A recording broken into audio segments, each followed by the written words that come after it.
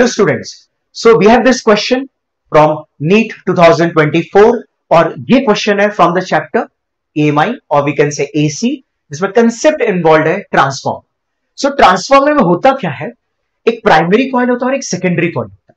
ठीक है? हम क्या करते हैं बेसिकली उसमें कि जो मैग्नेटिक फ़ील्ड लाइंस किससे पास कर रही है? प्राइमरी कॉइल से है ना? उसको हम सेकेंडरी कॉइल के थ्रू भी पास कराते हैं है ना? बेसिकली हम म्यूचुअल इंडक्शन का कंसेप्ट यूज़ करते हैं. और यहाँ पे कंसेप्ट कोर कंसेप्ट क्या होता है? कि द टोटल मैग्नेटिक फ्लक्स या total magnetic field lines per unit turn same होता है। किस किस का? प्राइमरी का और सेकेंडरी का। क्या बोला मैंने?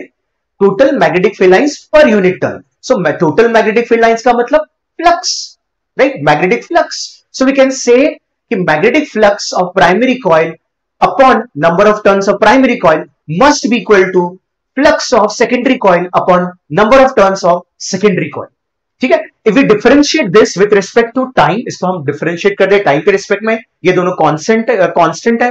We know that will get EMF क्या मिलेगा हमें? इंड्यूस्ड ईएमएफ राइट उसकी जगह मैंने वीपी और वीएस लिख दिया राइट और हमें क्या चाहिए? हमें वीएस अपॉन वीपी चाहिए। तो इसको इधर रखेंगे, इसको नीचे ले आएँगे, इसको ऊपर ले जाएँगे एनएस को ऊपर ले जाएँगे। तो हमें मिलेगा NS upon NP will be the answer और एनएस अपॉन एनपी ध्यान देना एनपी अपॉन एनएस दिया one upon two so NS upon NP हो जाएगा two upon one that is answer will be two is two one so answer is first option I hope आपको question समझा।